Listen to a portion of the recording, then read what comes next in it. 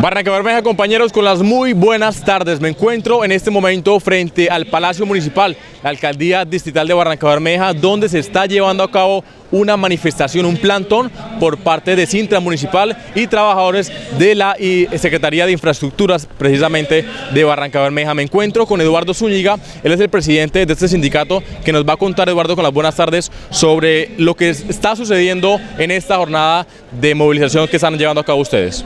Muy buenas tardes de la audiencia barranqueña. Hoy los trabajadores oficiales estamos en protesta para eh, hacerle tomar conciencia a esta administración, que no se tome la foto con el tercero, que se la tome con los trabajadores oficiales. Hoy nosotros nos encontramos en una difícil situación. Desde el momento que nos vandalizaron, nosotros no contamos con las herramientas de trabajo. Hemos venido sustentando con rifas eh, de nuestros bolsillos, sacando para herramientas, pero ya las bases dicen ya no más ya no más una administración que no ha volteado a mirar a los trabajadores, a la Secretaría de Infraestructura. Eduardo, usted mencionaba un punto muy importante y es el tema de la vandalización, que precisamente, digamos, desde ese punto fue que comenzó el declive de la Secretaría y de ustedes pues como trabajadores oficiales. El tema comenzó entonces en el 2021. ¿Cómo se ha llevado el proceso desde ese punto hasta ahora, eh, ya julio de 2023? Eh, como le digo, es una difícil situación.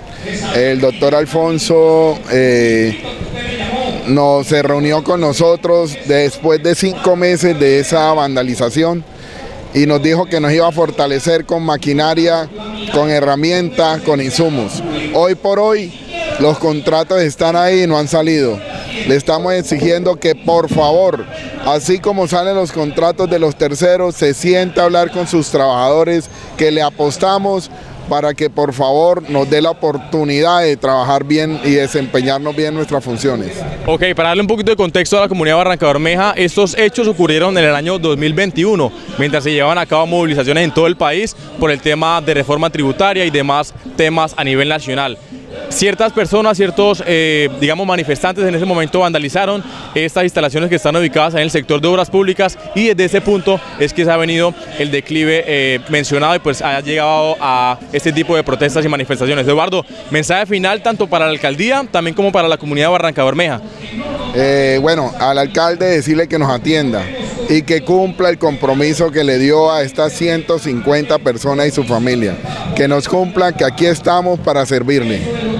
Perfecto, la información entonces que generamos Barranca Bermeja desde este punto, la alcaldía distrital aquí en la zona comercial de la ciudad, porque se está llevando a cabo precisamente una manifestación por parte de Sintra Municipal y trabajadores de la Secretaría de Infraestructura. La información que, que se genera en este momento precisamente con la cámara de Libardo Rueda, Camilo Santos.